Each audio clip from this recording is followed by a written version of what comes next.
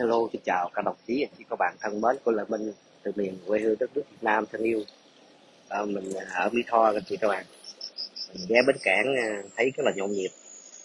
Các bạn thấy à, đây là một cái bến cảng cá Mỹ Tho. Còn những con tàu tấp nập họ đang chuẩn bị ra khơi và cuộc sống mưu sinh của họ à, luôn phấn đấu để tìm cách để đặng mà làm giàu cho bản thân. Các bạn thấy để họ cúng kiến tại vì những người mà lưu phủ họ luôn ờ, ờ, mỗi khi ra khơi thì họ cầu mong cái sự, gọi là, an lành. Trong những cái chuyến đi hàng ờ, đánh bắt của họ, các bạn thấy đây là một cái bến cảng cá, những chiếc tàu rất là lớn. Những cái tàu đánh cá rất là lớn. Họ đánh cá mang về đầy ắp cá và giao dịch, buôn bán rất là nhộn nhịp. Ờ, các bạn thấy người người. Ờ, gọi là thu mua họ sắp xếp trao đổi những hàng hóa. Rồi những cái cá này sẽ được phân phối đây ở những cái tỉnh thành những cái vùng lân cận đi khắp đất nước Việt Nam.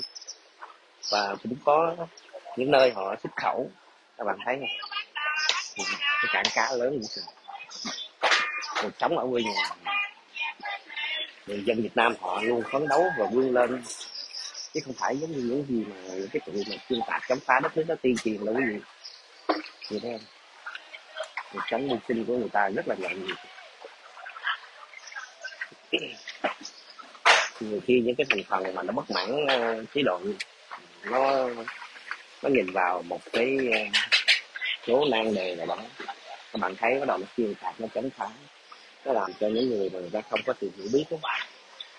người ta quay ra, người ta bất mãn rồi đi theo từ đó để bước vào những con đường là lạc lối. Nhưng mà khi họ nhận thức ra thì thì họ mới biết được cái gì chống cộng ở hai ngoại. Thì những thành phần bất mãn cơ chế đó, nó rất là ô hợp họ đã mất dạng. Các bạn thấy một cái cảng cá như vậy tạo ra biết bao nhiêu công ăn việc làm Đấy. rất là vui à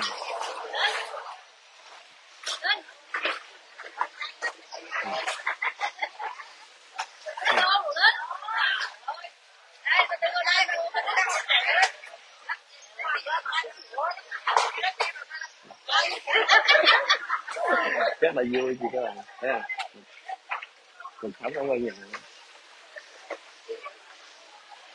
Họ kinh doanh rất là cầm quốc à, tàu bè đánh bắt thu mua người làm nhộn nhịp dễ sợ không? Đây là cuộc sống ở quê hương các bạn thấy nó không đến nỗi bế tắc giống như ở bên mỹ đâu. Tôi nói các bạn, cái đất nước mỹ, nó chỉ là một cái mặt nổi bên ngoài thôi. Những ở bên trời ờ, trời tây, những người nào họ mơ mộng. Sự thật nó nó rất là khủng hoảng. Tại vì khi người ta nhìn những cái hào nhoáng bên ngoài thì các bạn rồi à, người ta nước ngoại, ở nước này trong nước nọ. Rồi họ nhìn những cái đồng tiền ngoại tệ đô la cái trên lệch nhau quá lớn.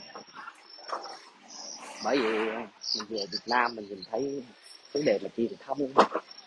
Vấn đề mà những cái cơ quan mà lãnh đạo nhà nước họ rất là lơ là trong vấn đề mô hình dân sự. Khi mà có chuyện rồi xảy ra rồi bắt đầu mới kiểu nói như là cho nó gọn, mất gà, mất mò rồi mới đi làm chuồng. Bởi vì rất là nguy hiểm chứ không dẫn còn ở bên đất Mỹ, các bạn thấy cái gì nó cũng vô cái khuôn khổ hết. Truyền thông, báo chí rồi những cái hệ thống dân sự, nó nằm trong một cái hệ thống pháp luật.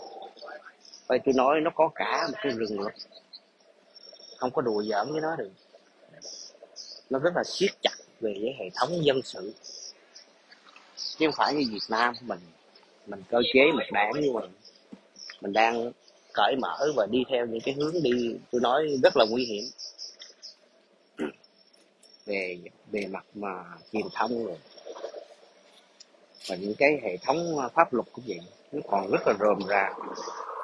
Chính vì vậy nó tạo ra những cái quan liêu, làm cho cái cái ờ, sự bất cập trong cái xã hội và từ đó các bạn thấy những cái tụi mà chống cộng hành thành phần ở hải ngoại nó mới lợi dụng những cái cơ hội mà những cái hệ thống pháp luật rồm ra bắt đầu nó nó chống phá, nó xuyên tạc, nó kích động, nó kích động những cái người dân mà người ta không có hiểu biết về pháp luật rồi các bạn thấy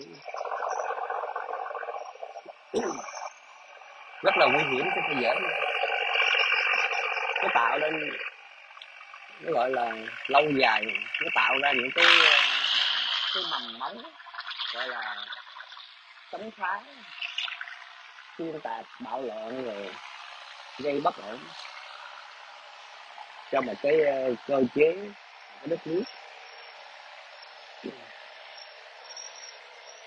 Thôi thì mình tạm dừng lại đây. Chào quý bạn, chị các bạn. Bơi bye bye bye bye bye bye bye.